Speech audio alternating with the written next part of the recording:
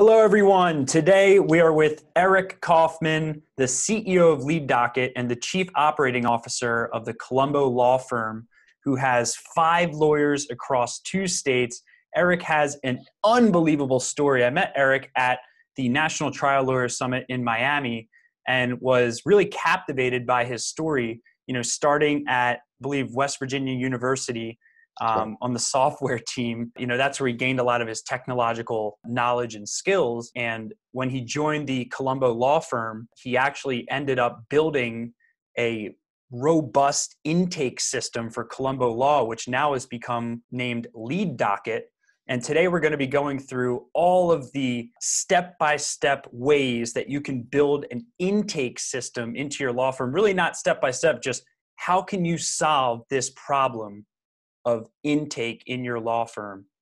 So this is going to be an exciting one-on-one with Eric, who is a genius on intake process. So I will let Eric take the reins. All right. I'll go ahead and share my screen. Yep. So Eric's going to share his screen to bring you through a presentation on the law firm intake process, as he All sees right. it. Yeah. So as Bill said, uh, you know, some years ago we were handling new client intake like a lot of firms do, which is sheets of paper. And so we, we were managing these leads and doing a pretty pretty poor job at follow up because our our sheets of paper would just pile up on the lawyers' desks. And a few years later, we got we got really sophisticated and made our sheets pink. So we thought they would stand out more among all the other papers on the on the desks of the lawyers. Uh, but what ended up happening, obviously, is we were losing cases. Right, we were trying to manage leads on sheets of paper but the reality is, you know, leads need to be communicated with the way they want to be communicated with, via text, via email, multiple follow-ups. Because anyone that's ever been through the process of buying a car, you don't walk in and make that decision and make the purchase immediately. And the same happens for legal services, right? It takes uh, multiple follow-ups, and, and that's why uh, other other industries do this.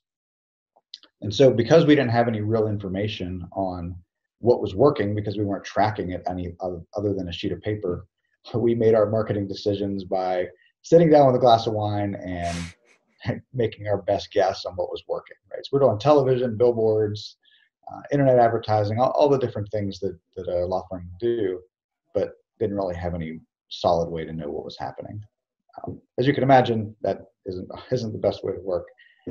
And so the lawyers would they would do their follow up by writing sticky notes out and kind of talk through uh, trying to remember, okay, this is a good lead. I want to follow up with them.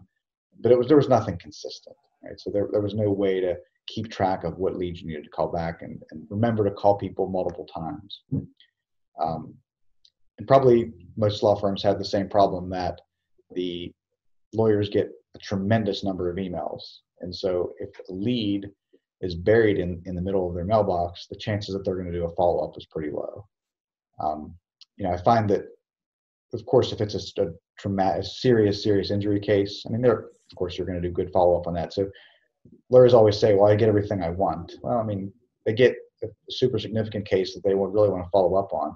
But where they're losing the money is in the margins, right? It's, it's the smaller cases, the average run of the mill cases that if they call and they don't get an answer, they say, well, I didn't want that case. You, you did want it. You, you just didn't do enough follow up to assign the client. So what other industries do you think about a car dealership, and, and I always use the car dealership analogy because I think a lot of people have been through this. That they they go to the dealership and they talk to a salesman, and, and the salesman continues to call them and email them and text them until they either make a decision to buy a car or tell the dealership to leave them alone. But the guy that is doing that, the dealership that's calling you and texting you, the guy's not a genius, right? He, he's using dealership CRM software that's telling him who to call and when to call and and what to say uh, for the best chance of conversion. But if you think back, a car dealership, they might make $500 on the sale of a car, and they're doing that level of sophistication. And so just think about other things that you do. Uh, if you go to a doctor's office, they're sending you text reminders to remind you of your appointment. And if you go, uh, and I was telling Bill about this earlier, I have my daughter has a golden retriever, which I guess means I have a golden retriever. And so we take it in to get groomed every few weeks, and they send me reminders to let me know when I we need to show up. That's a forty-five dollar service, right? And these guys are doing uh, automated communication. And, and so let's let's just take a look at a, a graph here. So the average client value for a dog groomer, uh, a dentist, a car dealership, and what is the average client value for your legal services, right? So, you know, in a in a defense practice, you know, it could be hundreds of dollars or maybe a few thousand dollars. In a personal injury practice, it could be seven figures. Um, and so, as you can imagine, it, it, makes a lot of sense to use these modern communication practices and, and lead follow up because the potential revenue is just tremendous. And I have a quick uh, I have a quick yeah. point on this. I just had an insight as you were talking. The funny thing here is when you look at this graph, this this kind of hits this really hits home to to why you had to solve this problem to scratch your own itch uh, within the Colombo law firm is because you know you noticed you knew deep down well, you know with with all of these day-to-day services we do dog groomers dentists etc these people are doing follow-up. Here's why is because their transaction value is so low they can't miss any individual client. So the true. funny thing is lawyers have gotten away with this because yeah, if true. they miss one hey i mean this is 14 to you know probably a hundred times higher value average case and it's a high margin industry. So it's very fascinating to see this when you think psychologically why are dog groomers being more persistent with follow-up than lawyers? Interesting. Yeah. Well and, and like you said when i first got into this and understood that we were spending you know six and seven figures on advertising and really didn't have any consistent process it was I mean, I'm a data, I'm a data person. So it hurts. Yeah. it hurts. Yeah. And, and, most so, law firms, most law firms aren't fortunate enough to have a data person have their blood boil over stuff, stuff like this, right? That's so, That's so true. you know, Colombo law really yeah. lucked out. and, and I, so I think at first, uh, when I first got into this, I thought it was just us, right? I thought that all the other law firms had this figured out, and it was really just us. So, you know, I tried to find software to help, and I I tried all these other things, and I, I realized that uh, there was really nothing out there that did what I wanted. And we'll talk about that a little bit later. But but how we actually got to this point, how we ended up making a tool to solve this for our business was just I, I saw the bleeding and I saw what we were doing wrong, and I knew we needed a better way to do it. You know, and the hard part of this is a lot of the they call it client relationship management tools that exist. You know, the Salesforce of the world, Infusionsoft, those sort of things they're designed to sell everything. Right? They're designed to, for some guy selling T-shirts and another real estate agent, and so they're they're vastly more complicated than you need for a legal service uh, because they're designed to do everything. I would say that it's it's kind of like uh, Microsoft Word versus Google Docs. Right? Word does a million things that people use five percent of, and so just to do the most basic thing is, I think, pretty difficult in Word.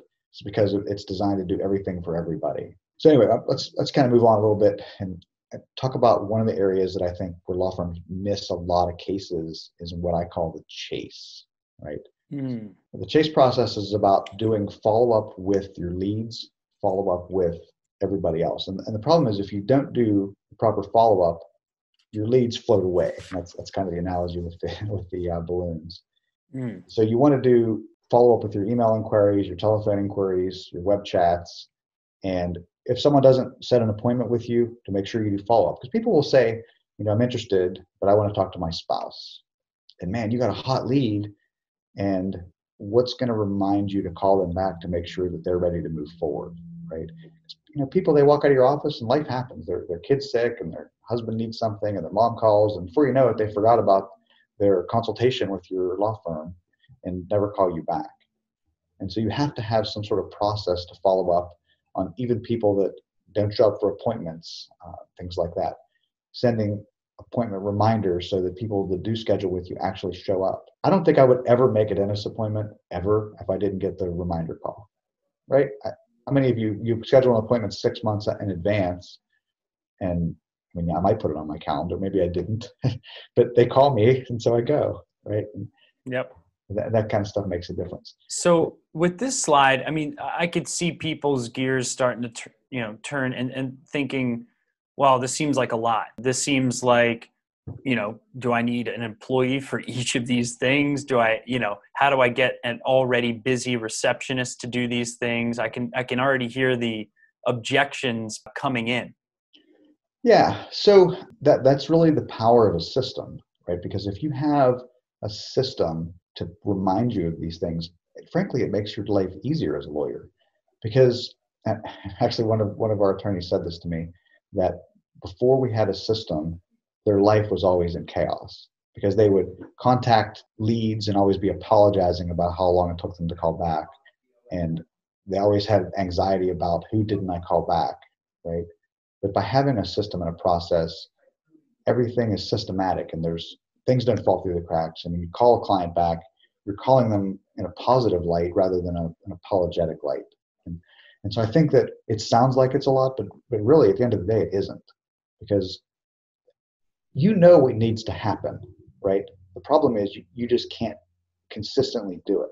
I mean, you, you know in your heart that you need to call back every lead multiple times if they don't answer the phone. You know that. You know that right now. You knew that before we had this. You watched this part of this video, right? But you just you don't have anything reminding you to do that. You know, another thing that happens is when you refer leads out to other firms, and a lot of firms do this, right? If you're a divorce uh, lawyer and you want to refer out an injury case, or you're an injury lawyer and you want to refer out a divorce case, those referrals happen, but it's very ad hoc, right? You send an email and say, I'm, I talked to this person today. But imagine if you could do a direct handoff. You've already collected all the details. You have the address, you have the name, you have the situation, and you could just send that directly over to your referral partner. So when your referral partner sees your firm name, right, so they're more likely to remember your name when they have a referral the other direction and if you refer a case out to them and they know you're keeping track of it, they're far more likely to send you back a referral fee in, in the states that that is allowed. And I tell you what, I've seen firms that have increased their bottom line in the hundreds of thousands of dollars range just by adding referral tracking. Um, and, and so know, there's another huge revenue stream for your business just by doing something that frankly isn't that difficult, but you don't have any reasonable way to do that on, on sheets of paper. Right? In case you referred out six months ago, to remember to call back the firm you sent it to just isn't going to happen. So there's a company called Velocify, and so they did a research study on three and a half million leads. And this is all industries.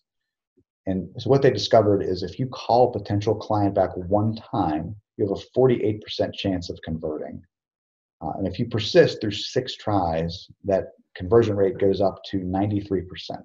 And so there's a point of diminishing returns. I mean, you, you can see that you can go, you know, six, seven, eight, nine times and increase, you know, from 93 to 97%. But again, when I find most firms are at the one attempt, putting a process in place where you are being prompted to persist through six attempts makes a gigantic difference in the number of cases that you sign.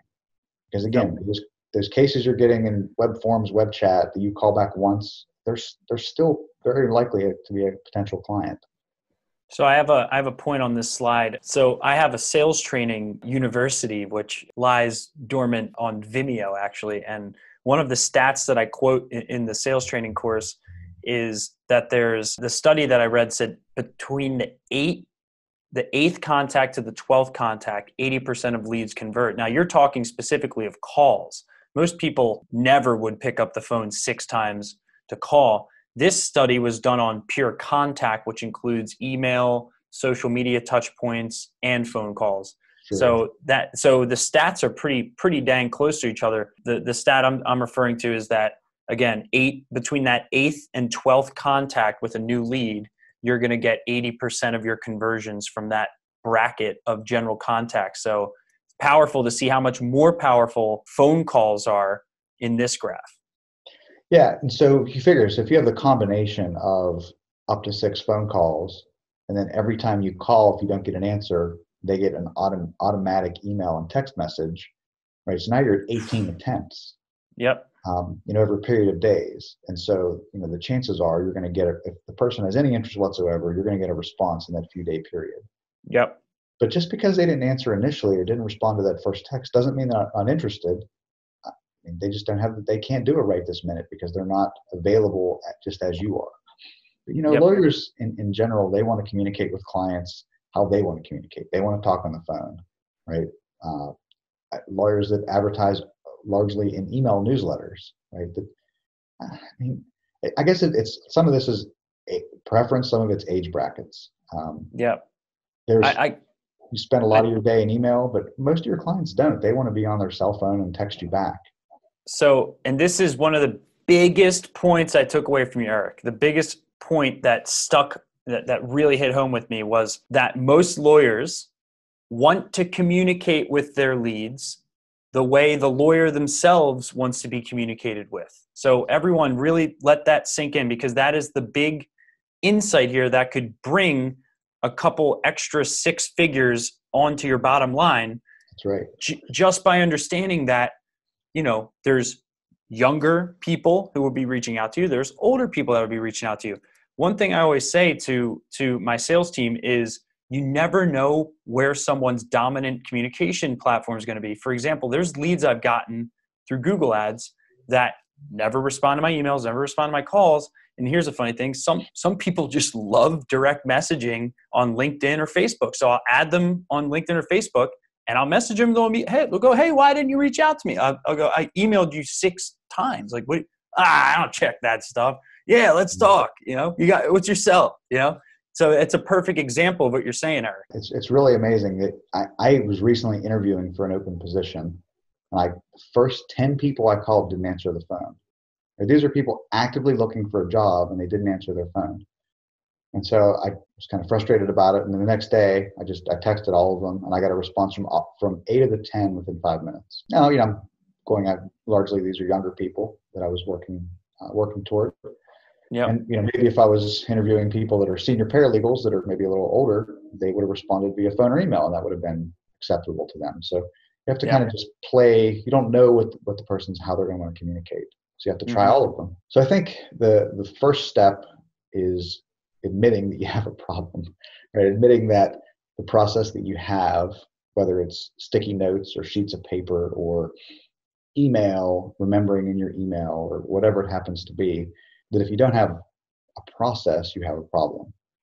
And so I, I would say that this is really all about the process, right? You have to you have to develop a universally reproducible process and again, none of this is that difficult. If you determine that the right answer is when you get a lead, you're going to call them at least six times. Okay, well, now you have a rule, right? And let's put a process around that rule. And as long as the rule is clear and people that work, either you or the people that work for you know what the rule is, then you can reproduce it and do it every time. And so, what, what I know from from my own firm and from experience in other firms, what doesn't work is trying to track this on sticky notes in email, uh, in an Excel file, right? It, I mean, Excel file is certainly better than the sticky notes, but Excel isn't helping you do follow up unless you're scanning through that Excel sheet 25 times a day, which is not reasonable. And, and the other place that I see people and firms try to manage their leads is through the case management system case management systems they you know they generally have some sort of intake tools but the thing is they they're not really designed to do case intake. They're designed to manage cases cases that you've already signed up. And so they're not going to have the automatic follow-up. They're not going to have the you know the reminders. It's not going to be a, a cohesive way to manage those leads and so you know i see a lot of firms that they think that that's the right way. And again i'll, I'll go back to the car dealership analogy that a car dealership has a sales team, right? And the sales team uses CRM, like I showed. And the whole time that's happening, the sales team knows who you are, but the service department doesn't, right? The service department has no idea who the leads are who are potentially going to buy a car. And at the time you purchase the car, you get a record in the service department database that tracks your warranty, your service record, your recalls, uh, maintenance. They're completely different systems and they're different people, right? So in any larger firm, you're going to have a sales team, and then you're going to have paralegals that, that manage the case. And, and firms, I, I think, fail a lot by trying to conflate the two and have their paralegals do new call intake. And so paralegals, it's a different skill set, right? They're trying to do uh, help with discovery and do document generation and uh, all these things related to managing a case. So when they get a call from a new potential client, it's hard to get them in the zone to be sales ready, right? To be on and, and empathetic because they just want to get this demand out. And so taking a new client call and signing up a new case is actually the opposite of what they want. They're just giving themselves more work. And so it's the same reason that the guy changing your oil doesn't try to sell you the car. and the same reason in the morning the dentist himself isn't calling to remind you of your appointment right there is a separation and so for for a successful firm of really any scale having dedicated person or people to do the sales process try to convince the new, new leads into working yep. with your firm that is a different skill than the person that's the paralegal managing the case. And so, so frankly interesting. Any, go ahead. Yeah and any modern business handles it this way right? There's a there's a sales process and there's a client management process. It doesn't matter if it's uh, the guy selling sweepers, the guy selling cars, uh, or, or, really anything. They're they're different groups of people. But lawyers, law firms don't work that way. Generally, smaller law firms, especially, they have uh, paralegals, which is you know very bad. Or a lot of times it'll be the lawyer themselves, which you know, unless you're just a, a solo law firm, that makes no sense to have a trained lawyer spending their time trying to convert calls to leads or calls to cases is a tremendous waste of time. Yeah. So, in some of the points I just want to really hit home here, because you're hitting on some very important mindset shifts, is owning the fact that case management is designed to manage cases, i.e., maximize case value, right? Whereas the intake process is designed to sell. Yeah, I, I said it. Oh my God, I said the word sell, right? Sell right. legal services, right? And everyone's so shameful about admitting, you know, that they are in a sales job. One of the one of the modules um, uh, in, in, that sales training course I was telling you about, I really got to release this to the public, um, is that everyone needs to own that they are a salesperson in some way, shape, or form. Even if you're the lowest level employee in a company, you have to sell your team members on your value and, and what you're bringing to the table. Sales is in the DNA of every person in any position in any company, and people don't own that. And another point I want to make is that if you give this to someone who is, for example, a high, you know, high hourly rate lawyer, for example, or a paralegal who'd obviously be a slightly lower hourly rate. Here's the thing sales is one thing. Yeah, you need to have someone who has a sales mindset handling the leads. Yeah, I get it. But here's the truth about sales. If you want to do sales right, there's some admin involved, there's some back and forth, there's, there's, some time wasted with you know putting together proposal whatever whatever it is in, in your business. There, there's a lot of admin stuff. And if you weigh down employees who are putting out demands and doing high value tasks with, you know, maximizing case value, they are going to abandon all of the admin tasks within the sales function of your law firm and abandon that extra follow up call and abandon that extra administrative follow up email to see if they need any edits made to the contract or whatever. So it's so important to systemize these administrative functions of sales, which can weigh down your team members who could have their time spent on higher value tasks. Absolutely. So, you know, that said, I'm just going to briefly show you how I dealt with the situation. And I think I said earlier, I looked at everything that existed. I looked at the, the Salesforce and the all the other tools out there. But it, I just I didn't think that our staff would be able to deal with that level of complexity. We needed something simple because like I said, this the whole process is not that complicated. And so anyway, what we did is we built a tool that we didn't intend to sell. We just built it for our law firm to solve this problem. And aside from being able to track all the leads that are coming in from all of your sources, right? So that could be web chats, website forms, after hours calls, direct phone calls, and put those into a process that there are rules that when we have a lead that we're chasing, we're going to call every four hours. And we're going to send them this text the first time and this text the second time. We have a lead that's scheduled, we're going to send them a text and email of the appointment information. If the appointment's in the future, we'll send them a text the night before, the morning of the appointment. If we assign a lead to an attorney and the attorney doesn't respond in 30 minutes, the person that took the call gets a task to check in with the attorney to find out what we're waiting on. Right? All these places that they can fall through the cracks we've built a process around it to make sure that doesn't happen. The other side of it is to understand what is working from a marketing perspective, right? We have to understand if we're spending X dollars on pay per click or X dollars on billboard, what is it turning into? And so you need to understand your the metrics of what's happening, right? How many leads are you getting? Where are they coming from? Uh, so the where are they coming from? It, you want to be able to see for example, on a map where your lead's coming from. So based on the address of the lead, and this kind of stuff can help you decide where your web targeting should be, where your billboard campaign should be. Uh, and very few law firms have any idea where the leads and calls are coming from. Right? They may have some preconceived idea that they're coming from a certain town or whatever based on purely anecdotal information. To be able to track things like how many leads have you gotten by each marketing source and how many leads are you of those converted into cases what were the case values of those cases and all these are really valuable bits of information that can be derived by having a system with the information to know where the lead came from the outcome of the lead uh, and, and, what actually happened during that process for me the, the things that really are important that you track every lead and have a process to do it you have salespeople to manage intake rather than having paralegals try to manage intake. You need software to manage the process, and you know, Lead Docket is one, but there are others that, that are that do similar things. And if you have nothing, uh, implementing any of those are going to make a difference to your business. After you have all the data, you want to mine that data to help you make better marketing decisions. Because now that you've collected all this data, you can do something with it. At the end of the day, what did that do for what did that do for me as a law firm? What did that do?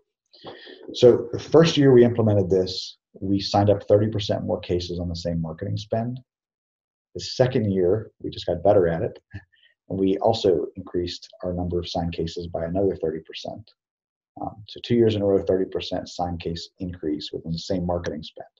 And that Ooh. happened because we were terrible at intake. And we didn't have a process and we were losing cases. And like I said earlier, I thought it was just us. But I've been doing this now for five years and I've been in a few hundred firms. And no, or it wasn't just us. Everyone has this problem. I find almost no firm uh, that has any sort of real sales process. Well, you ask questions, Bill. Yes. And guys, I do want you to check out Lead Docket because this is a good solution for the problems that we went through in this video. A couple a couple follow-up questions. You know, what we really went through in this video is the problems that are encountered. We went through, you know, how how every law firm has a leaky bucket. You know, we went through the problems of having a paralegal handle sales activities in your firm. We went through the administrative redundant side of sales follow up. I'm sure there's some some lawyers listening right now who have lost a paralegal or lost an employee that handled all of their leads and then for 2 or 3 months you have to put on the salesperson hat. If you can put yourself in those shoes, like put yourself back into the time where you were handling every lead or some people listening are still doing that, you'll have empathy for the how many redundancies exist in sales like literally sometimes oh, i wish i had my sheet with me right now i was going to show you a sheet of because right now i'm going through this in our company because we just got a ton of leads from from this event and uh, i literally have them all written on the back of a big long piece of paper that i spent 15 minutes organizing this morning because I didn't have time to up, upload it into our CRM, but that's really just my excuse. I really did have time. I just don't have the habit formed because I don't have a simple process behind it. So so Eric, you know, I def I definitely want anybody listening to, to go check out Lead Docket. It's leaddocket.com, right? Correct. Cool. And then they can get a demo of some sort. Is that Absolutely. correct? Absolutely. We we like to do a live demo because you really have to understand how the firm operates. And you know, generic demo just doesn't really cut it. I want to understand how the firm operates, who handles the calls, what are they doing today, and to understand how we might be able to help. Awesome. Cool. So in terms of the ideal firms you guys work with, who would be who would be good for you, who would not be good for you? Yeah, I, I would say that it, it's going to be advertising law firms, right? So those that have either personal injury law firms, mass tort law firms, or even there's some, you know, criminal firms that are doing some sort of advertising. And so when you're getting that volume of leads, you know, once you start getting, I would say once you're getting more than a dozen leads a month, uh, you need a system right? And if you're a solo and you're only getting a handful of leads a month, it probably can keep track of it. Yeah. Uh, once you get around, you know, 12 leads a month, it starts to make sense to have a process. Yep. Cool. Where can people find out more about you? Just through the Lead Docket website? Absolutely. Yeah. Leaddocket.com is, is the best place. And then we can have a conversation and, and work through that.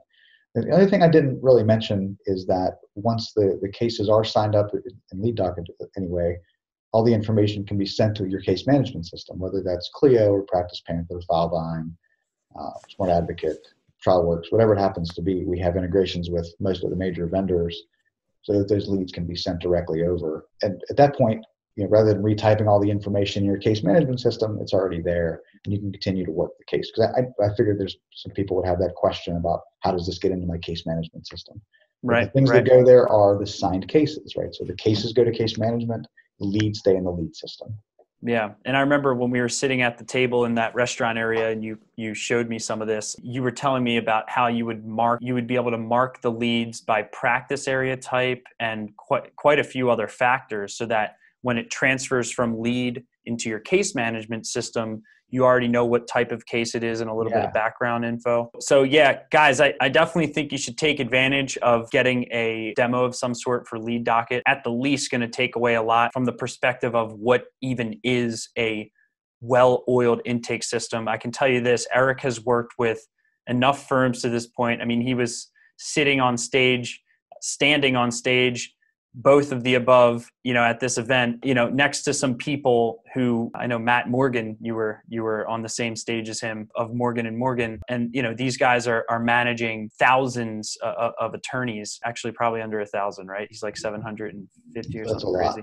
um, yeah but uh but regardless he's worked with all the biggest guys in the space. He's taken it he's taken all the pain points from these big firms. He's made it implementable for smaller firms and medium sized firms. But also for large firms. The, the key thing is if you're past that 12 lead per month mark, you're definitely going to get a lot out of talking to Eric about lead docket. So, Eric, thank you so much for your time. You know, I'm sure people are going to watch this like 10 times like they do a lot of my videos because there's tons of gems in it and uh, you said a lot of really powerful things so thank you so much for your time thank you everyone for watching please subscribe to the smb team youtube channel to get real time updates when we release breaking news. I'm going to label this as like this on the law firm intake process in 2020. Also, go to smbteam.com, put your email in on our website if you want to get put on our daily value add email drip to get free legal marketing advice sent to your inbox every day. So, thank you so much for your time, energy, and attention. Stay great.